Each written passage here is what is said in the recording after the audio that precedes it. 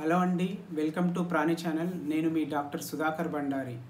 ఈరోజు మీకు ఈ వీడియోలో ఏం వివరించబోతున్నాను అంటే మనకు కరోనా వచ్చినప్పటి నుంచి ఒక డాక్టర్గా నేను ఒక ప్రశ్నను ఎదుర్కొంటున్నాను. ఏంటి అంటే కరోనాకు వ్యాక్సిన్ ఎప్పుడు వస్తుందని చాలామంది అడుగుతున్నారు. పేపర్లో న్యూస్ ఛానల్స్లో విన్నప్పుడల్లా ఎప్పుడు వస్తుంది ఇది ఇంతేనా అని అడుగుతున్నారు. ఈరోజు ఈనాడు పేపర్లో భారత్ బయోటెక్ వ్యాక్సిన్ పర్మిషన్ వచ్చిందని చూసినప్పటి నుంచి మళ్ళీ చాలామంది ఈ వ్యాక్సిన్ గురించి అడుగుతున్నారు. సో వ్యాక్సిన్ గురించి చాలామందికి ఐడియా లేదు. ఎలా తయారు చేస్తారు? ఎలా వస్తుంది అనేది. వ్యాక్సిన్ న్యూస్ పేపర్లో వచ్చినట్టు న్యూస్ పేపర్లో రాగానే మనకు ప్రాక్టికల్గా అందరికీ అవైలబుల్గా ఉండదు. సో నేను ఈ వీడియోలో కరోనా వ్యాక్సిన్ ఎప్పుడు వస్తుందో మీకు వివరించబోతున్నాను. సో ఈ వ్యాక్సిన్ గురించి మీకు వివరించాలంటే కరోనా వ్యాక్సిన్ను తయారు చేసేటప్పుడు ఎన్ని స్టేజెస్ ఉంటాయి? ఫస్ట్ సో ఏ ఏ ఫేజులు ఉంటాయి? ఒక్కొక్క ఫేజ్కు ఒక్కొక్క స్టేజ్కు ఎన్ని రోజులు పడుతుంది? సో మనకు ఫైనల్గా ఎప్పుడు అవైలబుల్గా ఉంటుందో చెప్పబోతున్నాను. జనరల్గా ఏ వ్యాక్సిన్ తయారీలో అయినా కరోనా అనే కాదు ఏ వైరస్కు కానీ దేనికైనా వ్యాక్సిన్ తయారు చేయడంలో ఆరు స్టేజెస్ ఉంటాయి. వాటిలో ఫస్ట్ స్టేజ్ ఏంటంటే ఎక్స్ప్లోరేటరీ స్టేజ్ సెకండ్ స్టేజ్ పేరు ప్రీ క్లినికల్ స్టేజ్ మూడో స్టేజ్ పేరు క్లినికల్ స్టేజ్ నాలుగో స్టేజ్ పేరు review and approval stage. Fifth stage manufacturing stage. Sixth stage quality control stage. దీనిలో ఫస్ట్ స్టేజెస్ ఏంటంటే సెలెక్షన్ ఆఫ్ మెటీరియల్. అంటే మనము వైరస్ యొక్క పార్టికల్లో అంటే ఆర్ఎన్ఏ మీద టార్గెట్ చేస్తున్నామా? లేకుంటే ఏదైనా ప్రోటీన్పై టార్గెట్ చేస్తున్నామా? ఇప్పుడు కరోనాని తీసుకుంటే ఆర్ఎన్ఏ అండ్ స్పైక్ ప్రోటీన్పై టార్గెట్ చేస్తున్నాము. అంటే selection of material first stage. Second stage ఏంటంటే ఎనిమల్స్ మీద ప్రయోగం చేయడం అన్నట్టు. సో ఎనిమల్స్ మీద ప్రయోగం చేయడం సెకండ్ స్టేజ్ అన్నట్టు. మెయిన్గా మనుషుల మీద ప్రయోగం చేయడం అనేది థర్డ్ స్టేజ్లో ఉంటుంది. ఈ థర్డ్ స్టేజ్లో నాలుగు ఫేజెస్ ఉంటాయి. ఏంటంటే first phase second phase third phase and fourth phase so ఈ ఫేజెస్ ఎలా ఉంటాయి అంటే ఫస్ట్ ఫేజ్లో ఏంటంటే వ్యాక్సిన్ అనేది ఒక పదుల సంఖ్యలో మందిలో ఇస్తారు. పదుల సంఖ్యలో అంటే ఒక ఇరవై నుంచి తొంభై మందికి ఇస్తారు ఫస్ట్ స్టేజ్లో సెకండ్ స్టేజ్లో అంటే వందల సంఖ్యల్లో ఇస్తారు. అంటే హండ్రెడ్ నుంచి నైన్ హండ్రెడ్ వరకు మనం ఎక్స్పెరిమెంటల్లో పాల్గొంటారన్నట్టు మెంబర్స్. సో థర్డ్ స్టేజ్లో ఏంటంటే థౌజండ్స్లో అంటే వన్ థౌజండ్ నుంచి నైంటీ నైన్ థౌజండ్ వరకు పార్టిసిపేట్ చేస్తారు. సో ఈ త్రీ స్టేజెస్లో వచ్చిన కాంప్లికేషన్స్ సైడ్ ఎఫెక్ట్స్ను బట్టి వ్యాక్సిన్ యొక్క డెవలప్మెంట్లో చాలా స్టేజెస్ ఉంటాయి. ఫోర్త్ స్టేజెస్ ఏంటంటే థర్డ్ స్టేజ్లో వరకు అంత పర్మిషన్ వచ్చిన తర్వాత ఫోర్త్ స్టేజ్ అనేది ఫైనల్ స్టేజ్ అన్నట్టు. ఓకేనా? ఈ థర్డ్ క్లినికల్ స్టేజ్లో ఫోర్ ఫేజెస్ ఉంటాయని చెప్పాను కదా. సో ప్రతి ఫేజ్కు జనరల్గా రెండు నుంచి నాలుగు నెలల టైం పడుతుంది. ఏ ఫేజ్కైనా అంటే నాలుగు ఫేజెస్ ఉంటాయి. First second third fourth phase కదా. అంటే ఒక్కొక్క ఫేజ్కు రెండు నుంచి నాలుగు నెలలు టైం పడుతుంది. అంటే నాలుగు ఫేజ్లను తీసుకుంటే ఎనిమిది నుంచి పదహారు నెలల టైం పడుతుంది. మనం అంటే minimum eight months maximum sixteen months పడుతుంది.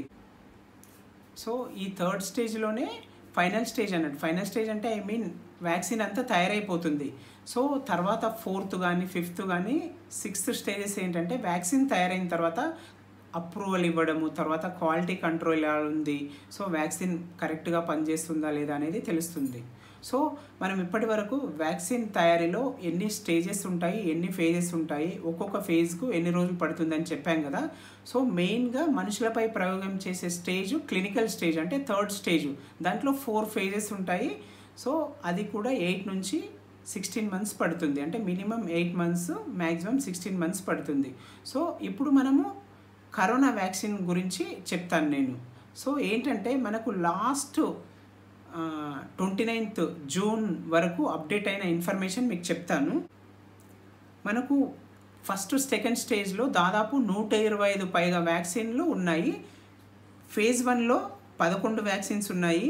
ఫేజ్ టూలో ఎయిట్ వ్యాక్సిన్స్ అంటే హండ్రెడ్ మెంబర్స్ అంటే వంద నుంచి తొమ్మిది వందల మంది మీద ప్రయోగం చేసే ఫేజ్లో ఎనిమిది వ్యాక్సిన్స్ ఉన్నాయి.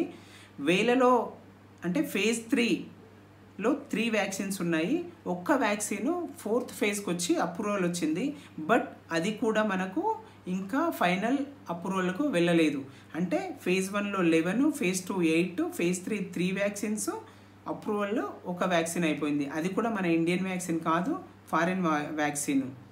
సో ఇప్పటివరకు ఉన్న ఇన్ఫర్మేషన్ బట్టి approximate time of availability of vaccine అంటే మనకు ఎప్పటి వరకు అవైలబుల్గా రావచ్చు అంటే మోస్ట్లీ ట్వంటీ ట్వంటీ ఇయర్ ఎండింగ్లో కానీ అంటే డిసెంబర్లో కానీ లేకపోతే early months of twenty twenty one అంటే ఇరవై ఇరవై ఒకటో సంవత్సరంలో ఎర్లీ మంత్స్ అంటే జనవరి కానీ ఫిబ్రవరి కానీ మంత్ మార్చ్ లోపు కానీ రావచ్చు.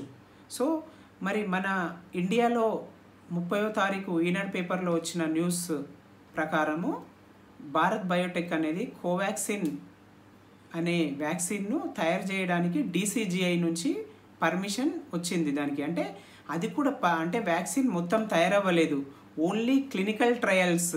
అంటే మీకు చెప్పాను కదా ఇంతకుముందు థర్డ్ స్టేజ్. అంటే ఫస్ట్ టూ స్టేజెస్ అయిపోయినాయి. థర్డ్ స్టేజ్ అప్రూవల్ వచ్చింది అన్నట్టు అంటే ఇంకా వ్యాక్సిన్ అయిపోలేదు.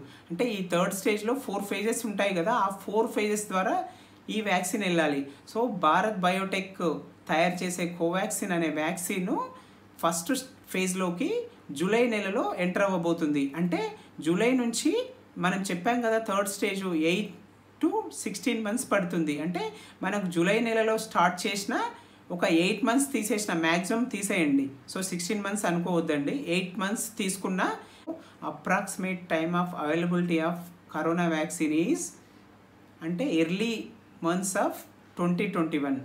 ఓకేనా? అర్థమైందండి సో మీకు ఏమైనా డౌట్ ఉంటే ఈ వ్యాక్సిన్ గురించి కానీ లేకపోతే నేను చేయబోయే వీడియోలో ఏమైనా డౌట్స్ ఉంటే మీకు కింద కామెంట్ బాక్స్లో మెన్షన్ చేయండి నేను రిప్లై ఇస్తాను. సో ఈ వీడియో చూస్తున్న వాళ్ళకు ఒక అప్పీల్ ఏంటంటే కింద కనిపించే సబ్స్క్రైబ్ బటన్ను అండ్ బెల్ బటన్ను ప్రెస్ చేయండి. అలానే లైక్ చేయండి. మీ ఫ్రెండ్స్ ఫ్యామిలీ రిలేటివ్స్కు షేర్ చేయండి. Thank you so much